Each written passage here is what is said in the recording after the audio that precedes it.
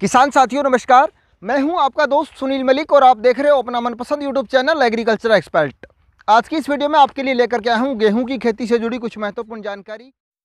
पिछले दो तीन दिनों से बहुत सारे किसान भाइयों के सवाल आ रहे थे कि सर गेहूँ की फ़सल में पीलापन आ गया है तो क्या कुछ डालें जिससे रोग दूर हो सके? तो आज की इस वीडियो में अपने बात करेंगे ऐसा किन कारणों से होता है और इसके उपचार के लिए क्या कुछ करना चाहिए। शुरू से लेकर एंड तक वीडियो को पूरा देखिएगा, तभी आप इसका फ़ायदा उठा पाएँगे। किसान साथियों, गेहूँ में पीलापन आने के दो ही मुख्य कारण होते हैं, जिसमें सबसे पहला होता है न्यूट्रिएंट डेफिशिएंसी, यानी पोषक तत्वों की कमी से भी ऐसा हो सकता है।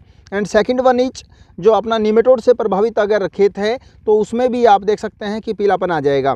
दोनों ही स्वस्थ पौधा भी मेरे हाथ में है और निमेटोड से ग्रसित पौधे भी हैं। क्या कुछ अंतर है आपको स्पष्ट पता लग जाएगा। ये जो आप पौधे देख रहे हैं, इनमें निमेटोड की समस्या है। पहचान क्या कुछ है? जब आपके खेत में गेहूँ में चकते से पीलापन के नज़र आएँ तो आप कोई भी एक पीले पौधे को उखाड़ेंगे। उखाड़ने के बाद अगर उसकी जड़ों में ऐसे गांठें बनी हुई नज़र आए, जैसे आप देख सकते हैं, इसमें एक गांठ बनी गई है और पौधे की जड़ें काली पड़ जाए उसको अगर चीरा लगाते हैं तो वो काली सड़न सी उत्पन्न हो तो आपको मानना है कि ये निमेटोड से प्रभावित है। इसका उपचार आपको करना है कार्बोफुरान दवा से।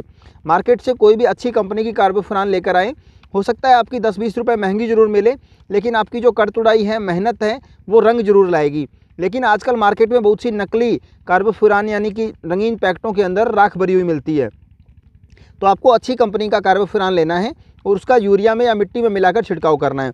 इसके अलावा दूसरा मैं आपको स्वस्थ पौधा दिखाना चाहूँगा। इसकी जड़ें भी आप देख सकते हैं, कितनी गहराई तक गई है, यानी अच्छी लंबाई ले चुकी है, एकदम नई और स्वस्थ कच्ची जड़ें हैं, नए फुटान भी है। दूसरा, इसके अंदर आप टिलरिंग देख सकते हैं, एक ही समय बिजाई की हुई है और एक, दो, तीन, चार, पाँच, छः, यानी छः टिल्लर इसमें निकल चुके हैं। जबकि जो अदर जो पौधा है, रंग, निमेटोड से प्रभावित है, उसमें अभी तक जो सिंगल, यानी जब गेहूँ जर्मिनेशन करती है, उगाव लेती है तो जो एक पत्ती बार आती है, वही एक तना अभी तक है। कोई फुटाव नहीं है, कोई जर्मिने वो इसके अलावा टिलरिंग नहीं है।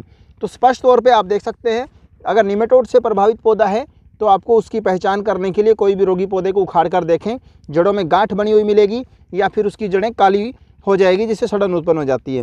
स्वस्थ पौधे की जड़ों में फुटान भी आपको अच्छे देखने को मिलेंगे, गहराई में भी जाएगी और पौधा टिलरिंग भी अच्छी करेगा। अगर एक दूसरा कारण, जैसे मैंने आपको बताया था, जो न्यूट्रिएंट डेफिशिएंसी है अगर पौधों में पोषक तत्व की कमी से ऐसा होता है तो इसके लिए आप एरीज एग्रो का मेजोसोल स्पेशल तीन ग्राम प्रति लीटर पानी के हिसाब से इसकी फोलियर स्प्रे कर सकते हैं, या फिर अगर आप पानी के साथ देना चाहें तो तीन किलो प्रति एकड़। यूरिया में या मिट्टी में मिलाकर अगर आप छिड़काव करते हैं, ऊपर से सिंचाई कर देते हैं तो काफ़ी अच्छा रिज़ल्ट आपको मिलेगा और आपकी जो गेहूँ की फ़सल में पीलापन वगैरह कोई भी अगर समस्या है तो वो दूर हो जाएगी।